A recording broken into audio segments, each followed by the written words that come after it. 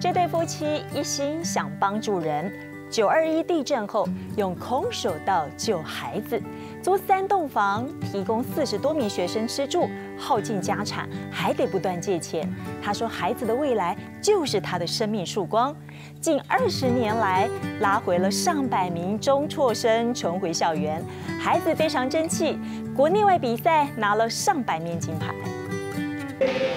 二、三、四。压重心，进去也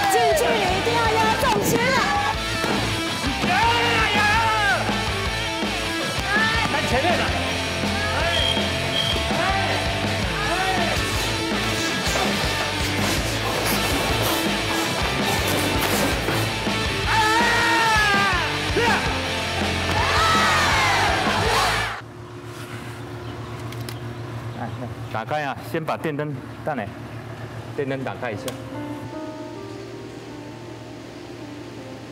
趁着学生们还在学校上课，两位教练已经提早先赶来练习到场。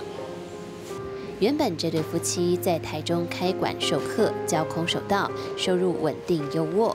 因为当年那场九二一地震，他们决定来到南投。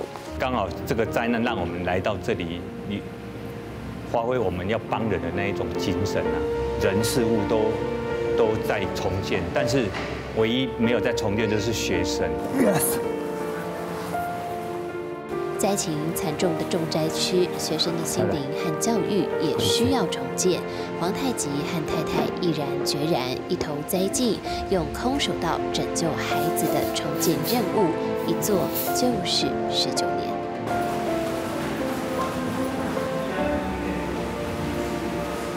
学生下课后赶到道场来，自动自发的更衣着装、量体重，准备练习。这里的四十多位学生，有的来自九二一受灾户家庭，有的来自偏乡部落。一、二、三、四。能够有机会在这里学习，每一位学生都非常珍惜。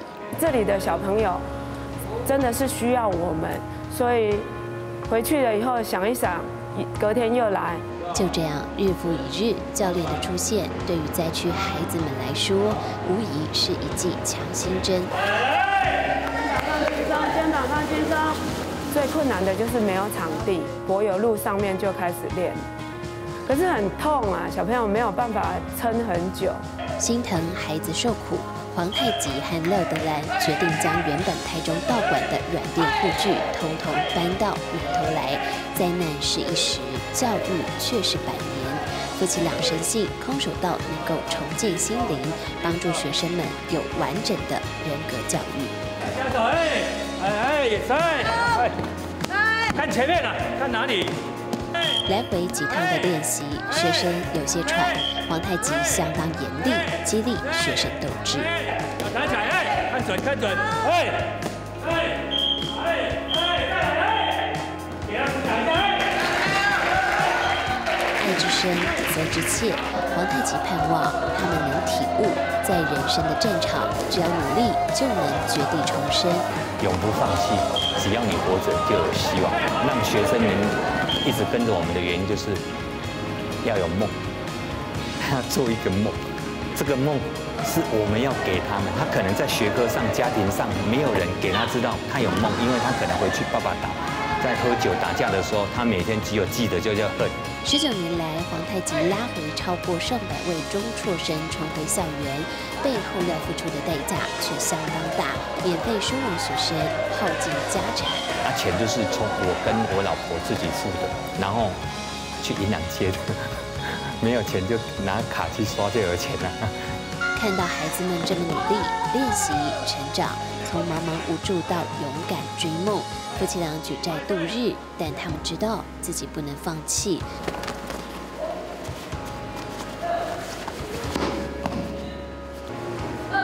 不会倒，因为力学从这里到这里是平线。你要在这边，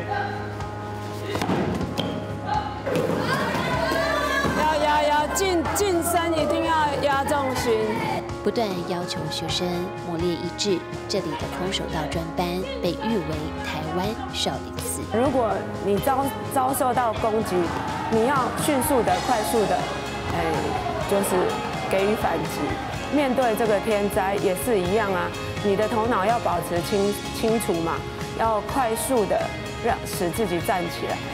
夫妻俩就这样与学生为伴，默默在南投耕耘，陆续培育出十位总统教育奖得主，上百位国手，在国内外各项比赛夺下超过百面金牌。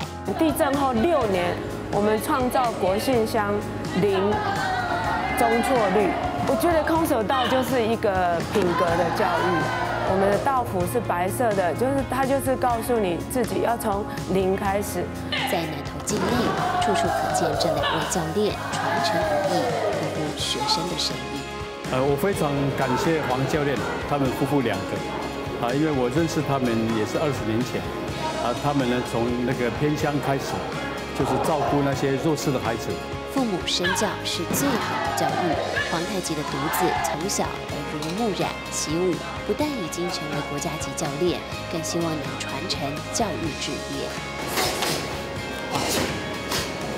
打拳要意志力，然后稳定度、专注，然后要速度跟力量，所以跟对打比较不一样。不同的拳法，教练因材施教。他们知道，只要有心向学，总有一天选手们都能站上世界级赛场。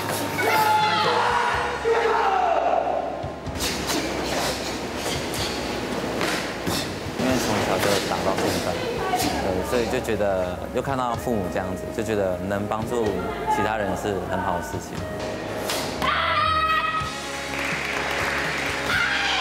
皇太极一路带大征战的灾区学生，总是视如己出，现在也成了对上教练。因为家里环境不是很好，然后其实可能我就是一直都穿着同一件的旧道服，就是很黄很黄。他就送了我一套道服，然后见那时候其实也为了怕不要伤我自尊心，他说呃会先很认真的练习，都没有缺席，所以我决定送他一套道服。最大的改变是现在给我们的很清楚的目标，就是知道自己要做什么。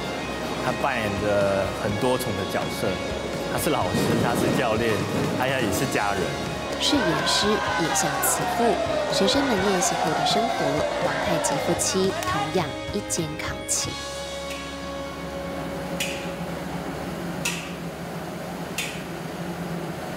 厨房里正在忙着准备学生们练习之后的晚餐。有菜有鱼，四菜一汤。尽管菜色简单，却营养均衡，里头还有着满满的关怀和爱。那个东西放着啊，先洗手。来来，先先洗手。回到宿舍，学生们相当规矩，自动自发洗手，准备吃饭。那个你有控制体重的人吃菜就好了，知道吗？